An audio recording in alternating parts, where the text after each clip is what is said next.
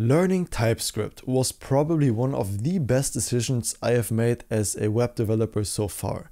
Not only does it really accelerate your work, but it also makes you write better code and it makes maintaining projects, which is like a big part of web development as well, way easier and more fun. And all those benefits you get at practically no downside because yes, learning TypeScript does require a bit of time investment, but it's really not that much. Okay, so let's get started with TypeScript in React and Next.js. And actually, it's quite easy. So let me show you the traditional approach of creating a React component. That would be something like this or something like this, right? Where you where you import React, then have a function that would be uppercase that returns some JSX, and then you export that as a default. And in TypeScript, that approach will be very similar. The only thing that's different is that we declare the type of the index or of whatever component you're making explicitly. So that would be FC and FC in React stands for functional component. And that is a type we don't need to make ourselves. We are being provided that by React. So we just need to import it and declare this component as a functional component. And that is all we need to do for that. We will get into props later. For now, I've prepared some code right here that we can paste into the return. And the server should already be started. Yes, it is. And there is a counter and a button that says add to count. Why are we doing that? Because I want to show you how to type the most common hooks and those would be the state and the ref. Use effect is also a very common hook However, inside of a use effect, you don't really need to worry about typing. Okay, so let's start with the state first. And what we want to achieve is like a number, one, two, three, whatever, showing up right here. And then when we add to count, that number should increase. Essentially just what state does in general, but in TypeScript. So we have two, I'm gonna disable GitHub Copilot for this just so I can type this myself we will have the first value, let's call it count, and then set count from the state is equal to use state. We gotta import that from React. And then the state would be something like zero. Now, this is how you would type the state in JavaScript, right? In TypeScript, there is a small difference. You don't really need to do this with numbers, but it becomes very clear why we're doing this when we are working with arrays, for example. So what we're doing with TypeScript is inserting these angled braces right here that you also use to type, for example, HTML, like those um, triangles. And inside of that, we're putting the type that we expect the state to be. So if the state was something like hello world, then that would be a string, right? So we would enter a string here. Or if that was a number, we would get an error right here because we're expecting a string. So that should match whatever is in inside of this state. Now, if we remove that, there's not going to be an error and the count is already inferred by TypeScript as a number. So when working with very primitive types like strings, booleans, or numbers, we don't need to explicitly state the type right here. But if we were to use an array, right, let's initialize a new state and just call it array, not explicitly type the array, but just initialize it as an empty array, then if you hover over the array right here, you can see the array is initialized by TypeScript as a never array. So what does that mean? It means that we cannot add anything to that array because by default TypeScript is like what the hell, what is going inside this uh, array? Like it, it doesn't know what is going inside that array. So if we were to set array and then receive the previous state of that as the first argument and then do like spread the previous in there and then push something like hello world. So a string, um, type string is not assignable to type never. So we're trying to push a string into an array that TypeScript doesn't know the type of. That's why it doesn't work. And in this case, while you don't need to explicitly type something with primitive types, you do need to type explicitly with arrays and objects, for example. So in this case, this would be a string array. We need to declare that in these um, angled brackets right here. And then TypeScript would know, okay, we're trying to push a string into a string array, and therefore that is an allowed operation. I think I got the point across quite clearly, so we don't really need to worry about that right now. I think you probably know how state works. Now the other hook that we want to type out explicitly is the use ref. So let's insert a use ref and just call it something like div ref, initialize it as null, and also import the use ref from React. And that wouldn't throw an error. But as you can see right here, we have the div ref, and that is a React mutable ref object of null. And that might be a problem because if we're trying to use the div ref.current, then that would also be, as you can see right here, if you hover over the types, it would be null. And how do we fix that? Because we can't really work with something that is null, right? The solution would be the same as the state. So after calling like a state or ref, we put the type we want in angle brackets. Now, how do we know the type of the div ref though? Because it doesn't say it here. One trick I've learned is that you can get a lot in TypeScript by just hovering over elements.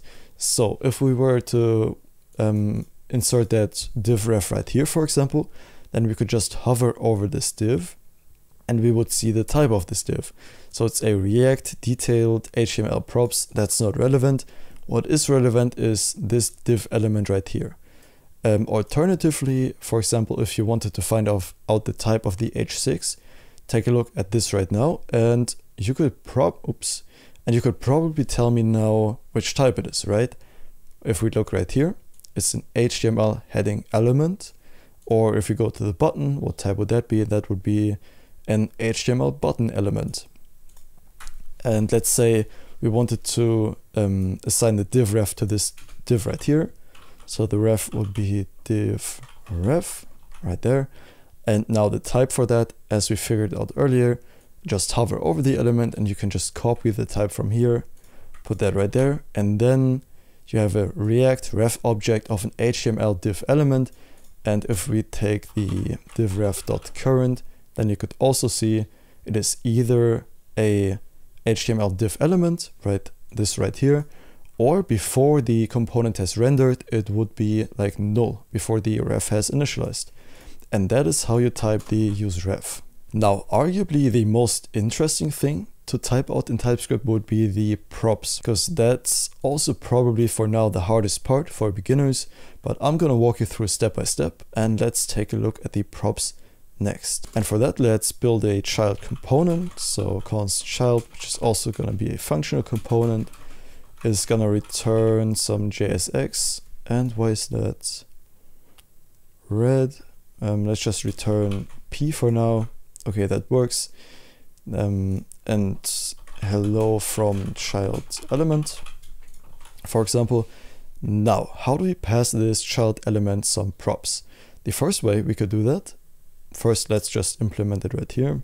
So just call it child element and that will work. If we try it out, hello from child element, nice, we can remove that. Now, how do we pass the child element a prop? For example, let's try passing the child something called a title. So we could destructure that from the props, right? Because normally in the React components, we just get the props right here.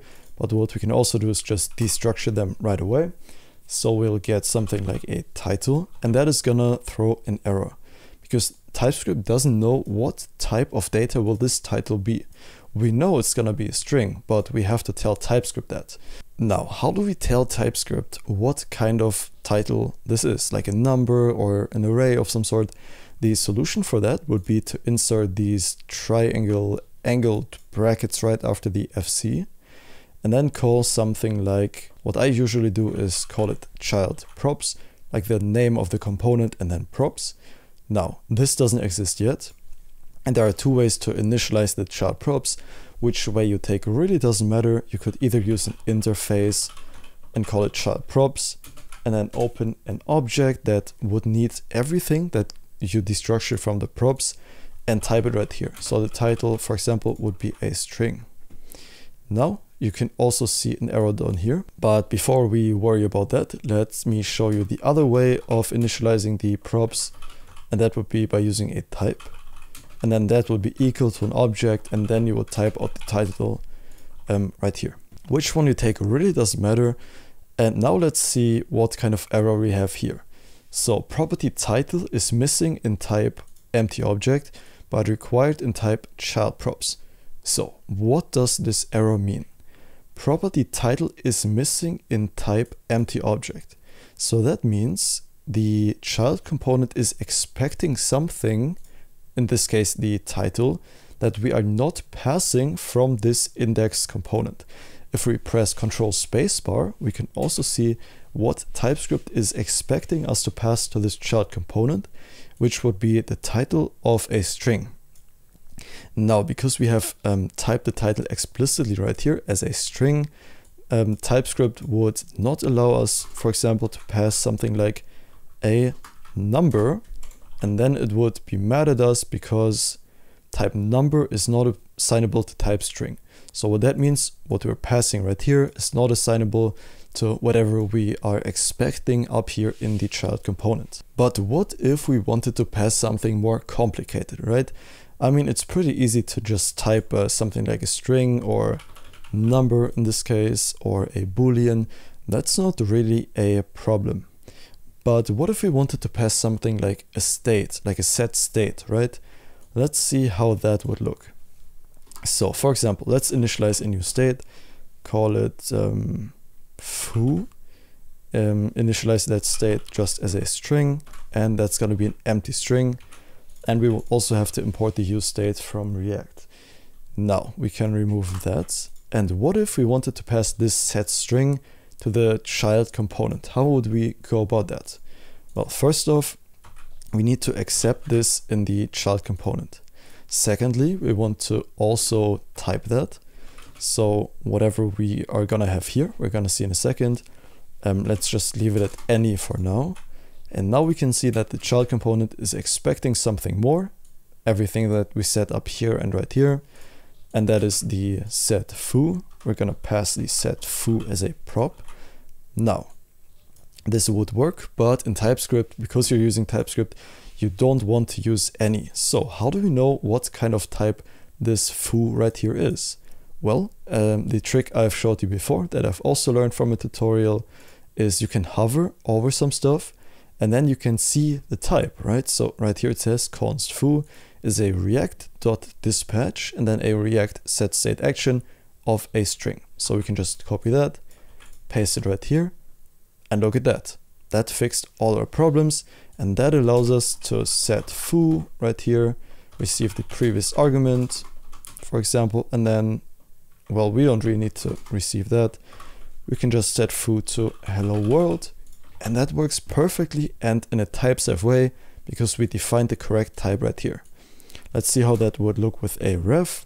So insert a ref, call it div ref again, initialize it as null. It's an HTML div element.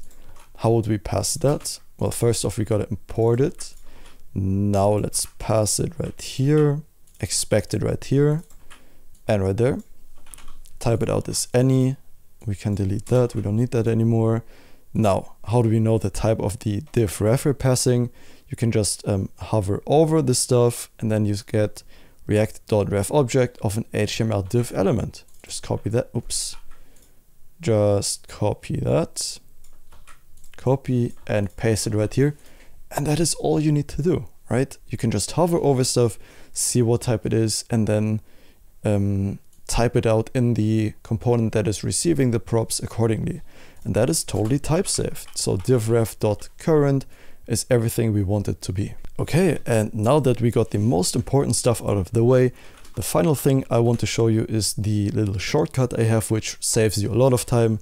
It's the FC, which stands for functional component. And when I press tab, it inserts what I've just showed you right here, like as in its own component and it uses the file name, so in this case index, as the component name. So if we were to go to um, create a new component, call it just hello.tsx and insert the fc, and it would be hello props const hello. So it's just very convenient. And I will insert the snippet in the description below, so you can just copy it.